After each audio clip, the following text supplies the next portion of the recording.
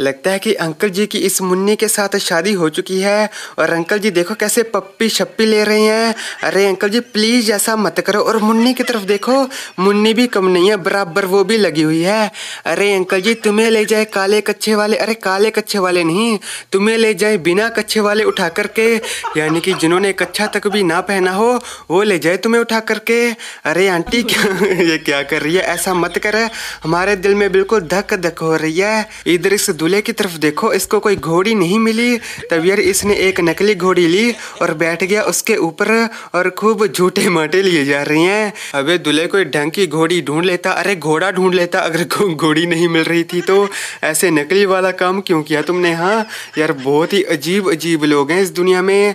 इधर देखो दोस्तों, शादी में कौन घुस गया? शादी में घुस गई भेड़। यार भेड़ बकरियाँ घुस चुकी हैं, शादी में खाना खाने आई होंगी और खूब स्वागत किया जा रहा है भेड़ और बकरियों का। इसे बोलते हैं इंसानियत। हमने देखा है कि लोग सिर्फ़ लोगों को ही खाना खिलाते हैं, लेकिन यहाँ पर भेड़ और बकरियों को भी खाना खिलाया जाएगा और डांस वांस भी दिखाया जाएगा इनको। इधर देखो दोस्तों, ये दुल्हन बहुत ही दुखी है, इसकी विदाई हो रही है और यार रोई जा रही है, रोई जा रही है। अरे दुल्हन के साथ दूल्हे का भी मन रोने का कर रहा है, यानी कि वो भी बेचारा उदास हो चुका है, सुनो।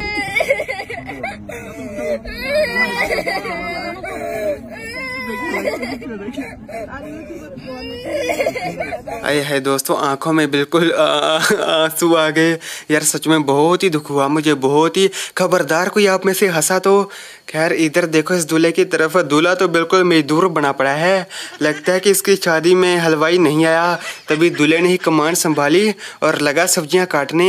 अरे दूल्हे अपने आसपास कोई मुन्नी ढूंढ उससे सब्ज़ियाँ कटवा क्योंकि वो तो काटने में बिल्कुल माहिर होती है ना।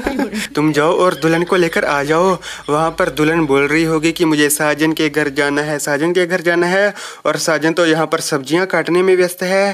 खैर दोस्तों, किसी की शादी में भी ऐसा ना हो कि शादी वाले दिन भड़वा हलवाई ही भाग जाए। यहाँ पर देखो, अरे अंकल जी, ये सब होने से पहले यानी कि ये शादी होने से पहले आखिर तुम्हें कुछ क्यों नहीं हो गया? पता नहीं यारो, इस अंकल ने ऊपर वाले को ऐसी किस्मत लिखने के लिए कितनी रिश्वत दी होगी, जिसके चलते इसको इतनी सुशील मुन्नी मिली है। इसको देख यार दिल में बहुत कुछ अजीब अजीब हो रहा है। यार, दिल में बिल्कुल धक धक हो रही है। मित्रों, अगर आपकी मतलब कि आपसे मुन्नी सेट नहीं हो रही तो इधर देखो इस भाई साहब की तरफ़। इसको बाइक के पीछे बिठाने के लिए कोई भी मुन्नी नहीं मिली। तभी इसने आइडिया घुमाया, एक गुड़िया खरीदी और देखकर बाँध ली सीट के पीछे। और बिल्कुल यार, अपनी पत्नी वाली फीलिंग ले रहा है गर्ल फ्रेंड वाली फीलिंग आगे आगे देखते जाओ मित्रों, इस कलयुग में आपको बहुत कुछ अजीब अजीब देखने को मिलेगा। इधर देखो इस दूल्हे की तरफ़, इसकी शादी हो रही है और देखो देखो कितना खुश है। यार, मुझे एक बार इसकी दुल्हन को देखना है। बाकी चाहे कुछ भी हो जाए, मुझे इसकी दुल्हन किसी भी हालत में देखनी है। और देखो देखो इसकी दुल्हन, यार, बिल्कुल इसके ऊपर ही गई है।